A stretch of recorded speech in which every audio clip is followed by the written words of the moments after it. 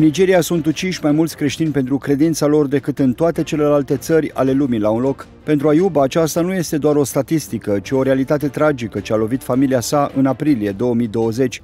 Tatăl lui Ayuba a fost ucis de teroriștii islamiști Boko Haram. Ayuba a jurat să se răzbune pe bărbatul care l-a trădat pe tatăl său militanților, dar și-a găsit vindecarea printr-un centru de consiliere organizat de Open Doors. Iată mărturia lui.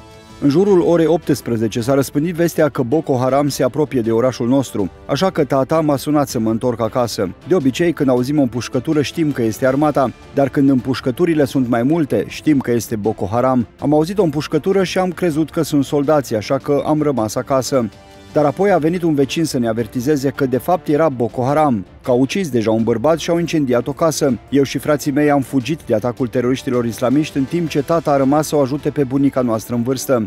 Am sărit un gard și fratele meu îi trecea pe frații noștri prin gard. Chiar în acel moment, frica mea era că ar putea veni teroriștii să ne găsească în timp ce făceam asta. Am alergat cât am putut de repede până am trecut un râu în spatele localității noastre. Sora mamei noastre era în casă cu bunica noastră, dar au venit musulmanii.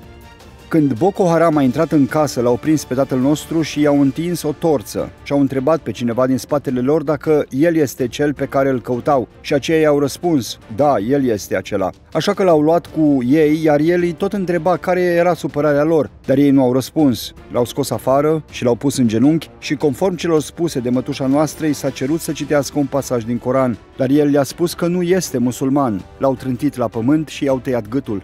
Eu și frații mei am dormit în acea noapte pe malul râului. Dimineața următoare ne-am întors și l-am găsit pe tata mort. Când am venit și am îngenunchiat lângă trupul lui, mi-am pus mâinile pe el și i-am spus, Doamne, Tu știi totul, Tu ai dat și Tu ai luat, fie ca tatăl meu să se odihnească împreună cu Tine. Aceasta a fost rugăciunea mea. Familia mea nu mai putea rămâne în sat. Boko Haram a făcut o listă de ținte și numele meu era pe acea listă.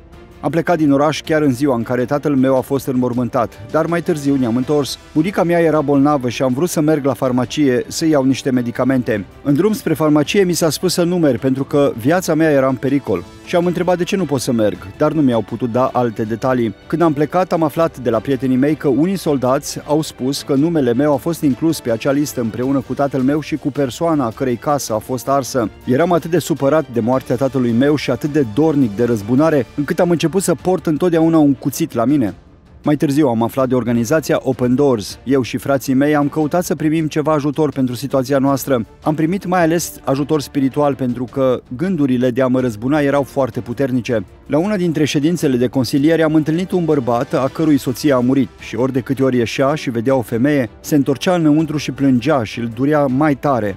Așa că m-am gândit în sinea mea, la ce folosește să merg cu un cuțit, să caut să mă răzbun și să mă simt mereu rănit și mintea mea să nu găsească niciodată pace? Așa că am decis să-mi las furia, să iert și să am pace. Mi-am dat seama că Dumnezeu m-a adus aici ca să mă vindece.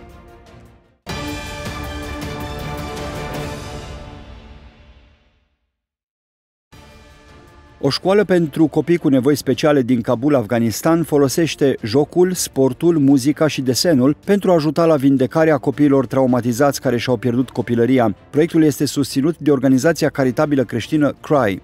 Unul dintre voluntarii organizației, Emigaut, a explicat pentru GNA motivul pentru care organizația creștină se implică în viața copiilor. Scopul principal este ca adolescenții să-și revină după trauma prin care au trecut mulți dintre ei și modul prin care se va realiza aceasta este prin jocuri, sport, muzică și desen, într-o țară în care toate aceste lucruri nu se întâmplă cu adevărat.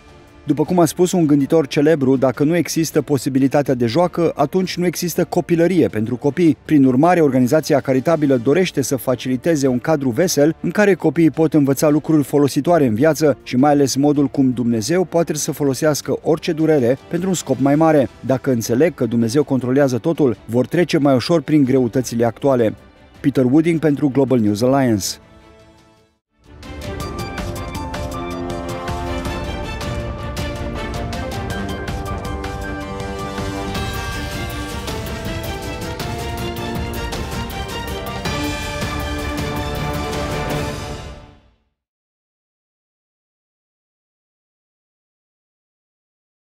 Alpha Omega.